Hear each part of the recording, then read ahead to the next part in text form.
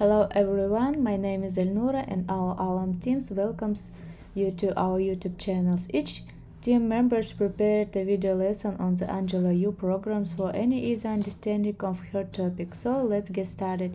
In this video we will analyze the topic favicon. So let's go.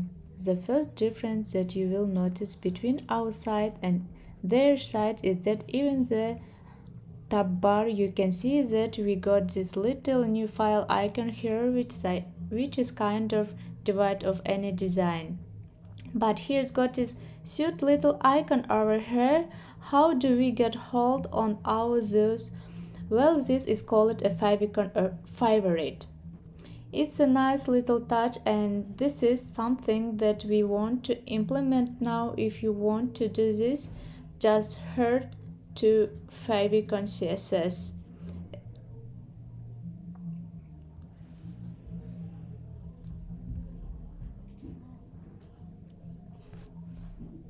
well it's called a favicon or favorite. It's a nice little touch. Okay you can now you can either import an image maybe of yourself and it will try to turn it into a very coarse drawing you can just simply draw it yourself. I'm so just going to draw uh, myself and I'm just going to draw a capital as a best uh, icon uh, which is alright uh, so here are favicon Aalam teams.